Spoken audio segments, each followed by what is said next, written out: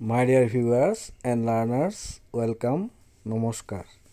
আজি এই ভিডিঅ'টোত প্ৰথম শ্ৰেণীৰ গণিত পাঠ্যপুথিৰ পাঠ নং দুই একৰ পৰা নলৈ সংখ্যাৰ ধাৰণা পৃষ্ঠা নং ঊনৈছত থকা গণিতসমূহ সমাধান কৰি বুজাই দিয়াৰ চেষ্টা কৰাইছে সৰু আৰু ডাঙৰ সংখ্যা। লগতে এক্টিভিটিছৰ সহায়ত বুজাবলৈ চেষ্টা কৰা হৈছে। মৰমৰ ছাত্ৰ ছাত্ৰীসকল নমস্কাৰ। আজি অহা সৰু আৰু ডাঙৰ সংখ্যা আমি কিদৰে সৰু আৰু ডাঙৰ সংখ্যা তুলনা কৰিব লাগে আমি শিকোঁ।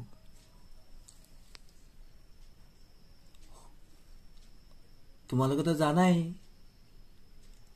তোমালোকে এক দুই তিনি চাৰি পাঁচ ছয় সাত আঠ ন এই সংখ্যাবিলাকতো তোমালোকে জানাই।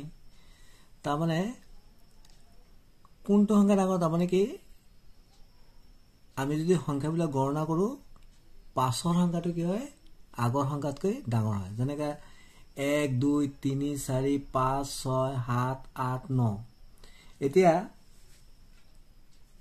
আমি যদি তিনি আৰু চাৰি চাওঁ তেনেহ'লে আমি দেখিলোঁ চাৰি তিনিৰ পিছত আহে তেনেহ'লে চাৰি ডাঙৰ হ'ব তিনিতকৈ আগৰটো কি হয়? সৰু হয়। এইদৰে যদি আমি সংখ্যাবিলাক এইদৰে যদি সংখ্যাবিলাক এইদৰে লিখোঁ এক দুই তিনি চাৰি পাঁচ ছয় সাত আঠ ন তেতিয়া পাঁচ আৰু ছয় আছে ছয়টোতো পাছৰ পাছত আহিছে তেনেহ'লে পাছৰটো কি হয়? ডাঙৰ হয় আৰু আগৰটো কি হয়? সৰু হয়। তেনেহ'লে সাত আৰু আঠৰ মাজত কোনটো সৰু? সাতটো সৰু আৰু আঠটো ডাঙৰ। মৰমৰ ছাত্ৰ ছাত্ৰীসকল ইয়াত আছে তিনি আৰু ইয়াত আছে চাৰি। তিনি আৰু চাৰিৰ মাজত কোনটো ডাঙৰ বাৰু? আমি যদি বস্তু দি লওঁ তিনি। তিনিডাল পেঞ্চিল দিছোঁ এক দুই তিনি। তিনি তিনিডাল পেঞ্চিল। আৰু চাৰিত এক দুই তিনি চাৰি চাৰিডাল পেঞ্চিল। তাৰমানে কোনটোত বেছি আছে? ইয়াত বেছি পেঞ্চিল আছে।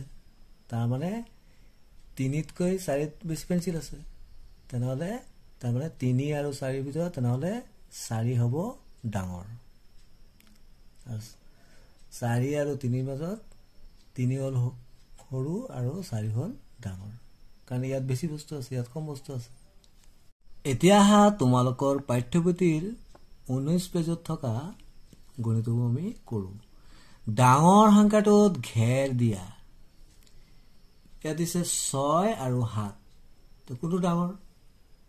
আমি দেখিলোঁ যে ছয়ৰ পাছত সাত আহে তাৰমানে সাতটো ডাঙৰ। সেইকাৰণে হাতত ঘেৰ দিয়া হৈছে। এতিয়া চাৰি আৰু ছয়ৰ মাজত কোনটো ডাঙৰ? আমি চাই লওঁ। ইয়াত চাৰি আৰু ছয়ৰ মাজত চাৰি ক'ত আছে? এইটো চাৰি এইটো হ'ল ছয়। তো চাৰিৰ পিছত ছয় আহে। তাৰমানে তেনেহ'লে কোনটো ডাঙৰ হ'ব? ছয়টো ডাঙৰ। তেতিয়াহ'লে আমি ইয়াত কি লিখিম? চাৰি আৰু ছয়ৰ মাজত যিটো ডাঙৰ ঘেৰ দিব লাগে তাৰমানে ছয়টো ডাঙৰ। ছয়ত আমি ঘেৰ দি দিওঁ এতিয়া পিছৰ অংকটোলৈ আগবাঢ়ো তিনি আৰু পাঁচ তিনি আৰু পাঁচৰ মাজত কোনটো ডাঙৰ তিনি আৰু পাঁচ তাৰমানে তিনিৰ পাছত পাঁচ আহে তেনেহ'লে পাঁচটো ডাঙৰ হ'ব তেনেহ'লে পাঁচত আমি ঘেৰ দি দিওঁ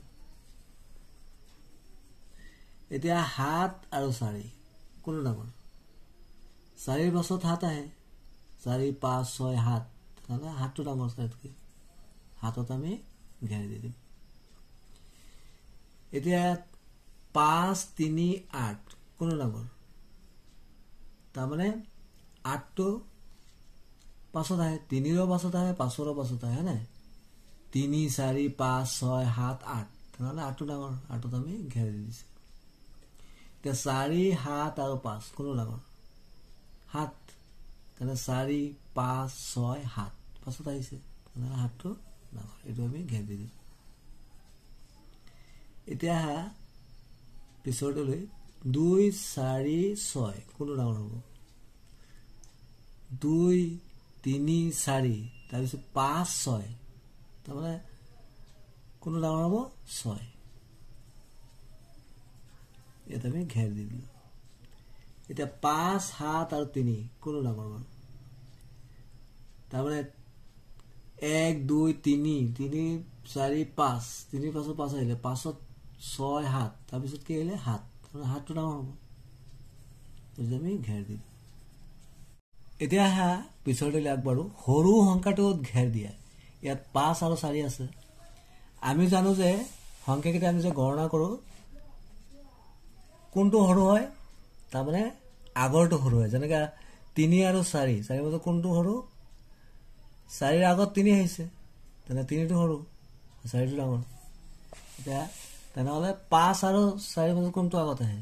চাৰিটো চাৰিটো সৰু সেইকাৰণে চাৰিত ঘেৰ দি আছে। এতিয়া পিছৰ তলি আগবাঢ়িলোঁ। দুই আৰু ছয় কোনটো সৰু বাৰু? আমি যেতিয়া চাওঁ দুইটো কি হয়? ছয়ৰ আগত আছে। এইটো সৰু হ'ব।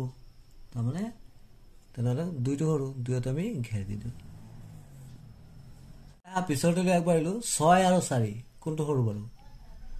ছয়তকৈ আগত চাৰি আহে তেনেহ'লে চাৰি হ'ব সৰু ইয়াত আমি ঘেৰ দি দিওঁ। পিছৰ তলি আগবাঢ়িলোঁ সাত আৰু নৰ মাজত কোনটো সৰু বাৰু? সাত আৰু ন। নৰ আগত সাত আহে সাত আঠ ন নটো পিছত আহে তেনে আগৰটো হ'ব সৰু তাৰমানে সাত সৰু ইয়াত আমি ঘেৰ দি দিওঁ। এতিয়া এইটো চাওঁ। ছয় সাত আৰু তিনি। কোনটো সৰু হয়? তিনি সৰু ইয়াত ঘেৰি দিয়া আছে। এতিয়া পিছৰ দিলে আগবাঢ়ো। সাত আঠ ন। সাতটো আগতে আহে। আঠৰ আগত আহে নৰ আগত আহে। তেনেহ'লে সৰু কোনটো হ'ব? সাত। আমি হাতত আমি ঘেৰি দি দিওঁ এতিয়া পিছৰ দিলে আগবাঢ়িলোঁ। আঠ সাত আৰু তিনি। কোনটো সৰু বাৰু? তিনিটো আগতে আহে তেনেহ'লে তিনিটো সৰু হ'ব। এতিয়া পিছৰ আগবাঢ়িলোঁ। ছয় আঠ আৰু ন। কোনটো সৰু হ'ব বাৰু? আমি আকৌ এবাৰ চাই লওঁ। ছয় আঠ আৰু ন। ছয় আঠ আৰু ন কোনটো সৰু আগতে কি আহিছে? ছয়। তেনেহ'লে ছয়টো সৰু হ'ব। তেনেহ'লে আমি ইয়াত ছয়টোত ঘেৰি দিম। ছয়ত ঘেৰি দিম।